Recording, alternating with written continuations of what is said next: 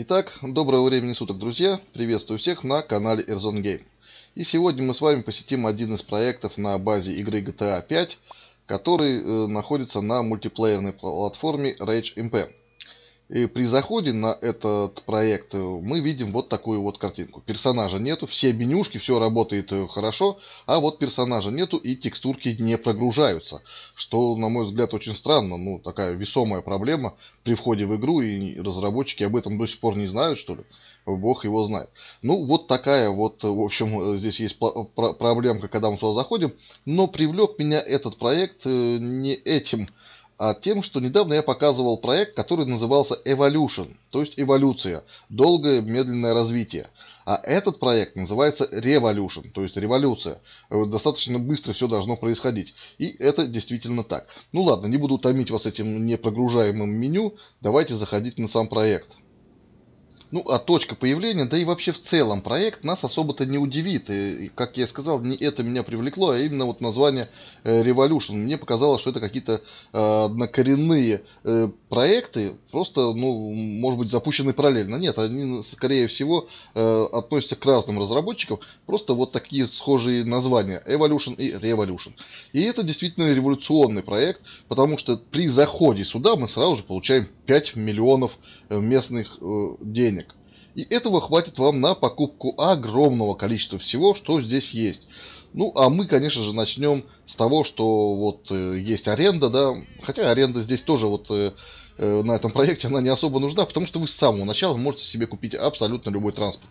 И все, как бы аренда вам не нужна. Но, тем не менее, Э, на точке аренды можно взять э, мотоцикл и уже ездить сразу же с первых минут на мотоцикле, как все стремительно здесь происходит. Далее мы едем в автошколу, в которой, естественно, ну, на такие деньги, которые нам даются при самом входе э, на этот проект, мы можем купить сразу же все категории. Причем интересно, вот э, э, мотоциклы, легковой транспорт и грузовой транспорт надо кататься. Э, по триггерам, как вы это сейчас видите, надо несколько кругов сделать. Ну, в смысле, несколько кругов на каждом транспорте по одному кругу, по одним и тем же точкам. Э, все остальные на водный транспорт, на летный транспорт, там на самолет, на вертолет отдельные права продаются. Это вы сейчас заметите в телефоне. Э, там кататься не надо, не летать, не, не плавать, ничего не надо. Просто мы их покупаем и все. Так почему же тогда было бы не сделать, чтобы все э, категории вот так вот покупались? Все равно же это действительно проект Revolution. У меня куча бабла э, при входе на этот проект. И, ну и что время тратить? В принципе, и так уже есть э, категории, на которых не надо кататься. Ну так уберите все остальные, в принципе.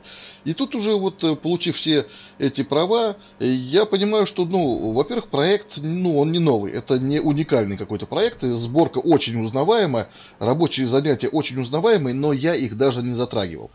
И надо меня понять, э, потому что, ну, у меня уже есть 5 миллионов. Вот, и как бы это огромные деньги на этом проекте. Э, может быть, есть проекты, где 5 миллионов это немного, но на этом проекте это много. Например, дом стоит 600 тысяч, вот, ну, примерно, да. Сейчас мы походим по магазинам и посмотрите, какие цены, и поймете, что ну, 5 миллионов это все. То есть вот я зашел на проект, и я уже всего достиг. То есть, ну вот действительно Revolution, да, название себя оправдывает. Посему я и не стал затрагивать мне одно рабочее занятие на этом проекте. Ну действительно, а что толку-то? Ну, ну что я покажу? Никто, зайдя сюда, этим заниматься не будет. Ни садовником, ни э, водителем автобуса никто этим заниматься не будет. Потому что у вас уже есть огромное количество денег. Но вот именно это и привлекло меня на этом проекте. Таких проектов на самом деле, надо сказать, огромное количество. На платформе RageMP их много. Э, дается по 300 миллионов, по 150 миллионов, там ну, на разных проектах, э, соответственно, по-разному. Смотря как настроена экономика, отсюда и число. Э, если поскромнее проекты, там дается количество денег, которое вам сразу же хватит на какую-то простую машину, на простой дом. Ну, в общем, проектов таких много, вот наподобие Revolution вот этого. Но ни на одном из этих проектов вы не увидите большого онлайна. Здесь, ну вот на Revolution, я увидел самое большое количество людей, это было 16 человек. А есть проекты, где играют 3, 4, 5 человек. И вот тут-то и хотелось бы побеседовать, а вот э, пока идут всякие вот заставочки с машинками, вот вы можете посмотреть, сколько здесь что стоит. Как вы можете еще заметить, что очень узнаваемые иконки, и сами магазины-то, в общем, очень узнаваемые. Я и сказал, что проект не какой-то э, прорывной, взята какая-то простая сборка. Почему я говорю какая-то? Потому что я ее не стал ковырять, ну, неинтересно. Когда у вас в самом начале все есть, э, неинтересно смотреть, что здесь есть интересного. Ну, абсолютно. То есть мне не интересно, какие здесь есть рабочие занятия, какая здесь экономика. Вообще ничего не интересно. Потому что вы, э, не успев зайти на проект, уже, э, можно сказать, добились всего. У вас есть куча денег. Ну и что вам здесь делать? Вот я поймался на том, что мне было интересно просто походить, посмотреть магазины, какие есть товары, сколько вообще чего стоит, насколько мне я могу растянуть эти 5 миллионов. И оказалось, что ну, намного могу растянуть. Я купил здесь большое количество машин, Э, ну как большой, у меня там две машины и мотоцикл я купил, э, вот, ну, просто от того, что я не знал, куда деть деньги. Это вот э, тема для рассуждения, что когда говорят, что вот экономика сложная, тяжело, это убивает РП. А вот есть проект, где вы заходите и, пожалуйста, РПшьте. Но здесь никого нету. Ну, не то чтобы уж совсем никого нету, но э, онлайнов на этих проектах я не видел ни разу. Их много, еще раз скажу, их много таких проектов куда вы можете зайти, и у вас сразу же с самых первых шагов все будет. Но там нет людей. Там очень низкий онлайн. Потому что все ж таки, сколько бы вы ни ругали э, экономику, трудный фарм и тому подобное, э, человека, игрока привлекает вот это вот достижение своими силами какого-то вознаграждения.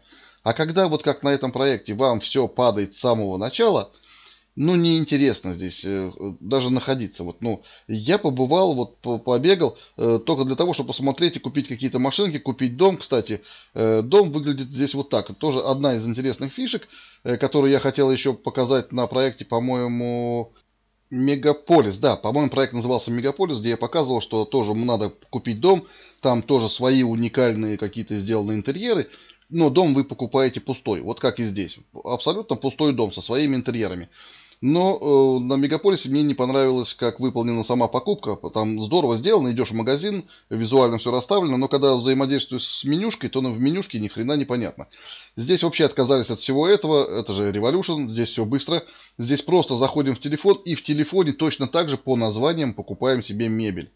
Так как бабла много, мебель можете позволить себе абсолютно любую. Единственная проблема, что и на мегаполисе из-за менюшек непонятно, что ты покупаешь, здесь вообще по названиям, да, там белый стол, или серый стол, или просто по названию ковер. Я купил ковер, а оказался не ковер, а коврик. Ну, такие вот, то есть, э, проблемы.